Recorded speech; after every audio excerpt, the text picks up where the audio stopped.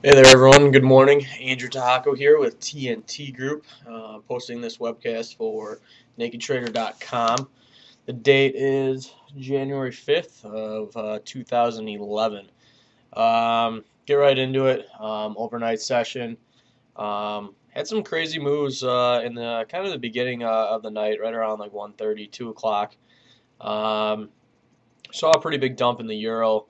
Um, and the Euro Stoxx didn't really react right away. There was a bunch of size right around 28.33 uh, in the Euro Stoxx, that huge size trading. They wouldn't really let it go when the, the Euro was getting dumped. trading very fast, a lot of size back and forth. Um, keep an eye on that area. The high here overnight is 28.34. So right on the high, a lot of size traded, but they eventually did dump it. We're trading 28.05 now. Um, the low was 27.93, so pretty good dump from uh, up there on the highs. Um, and it all kind of came off when that euro decided to go. Um, other markets here, really surprised in this yen um, that we're not higher. Um, you're seeing bonds up nearly a point. They're trading uh, on the highs right now, 122.03. Uh, you got gold up about four bucks here tonight too. So it seems like a little more uh, risk off play. But uh, again, I'm surprised this yen isn't really following that either. Yen's down about 17 pips, trading uh, 121.89. So really surprised we're not higher, we're not positive. Um, if these bonds stay up here and gold uh, winds up staying up here positive also, you might see a, a yen move higher um, throughout the day. Um, let's see. Also, uh, 28.24. Going back to the Euro Stoxx, the price 28.24.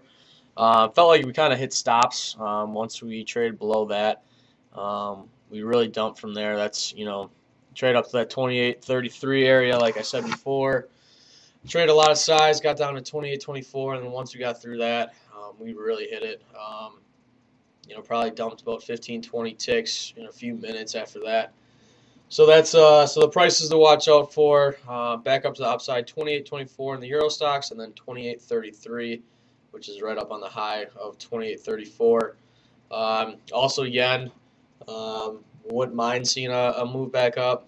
Something uh, you know I'd pay attention to with these bonds and with this gold. Other than that, not much going on. Um, a lot of equity weakness here. Minis down seven and a quarter.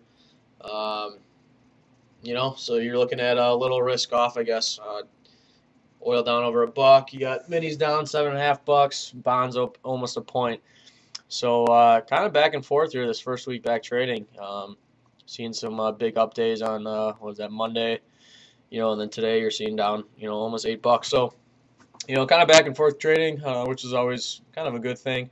Um, other than that, not much else going on here. Got oil inventories during the day.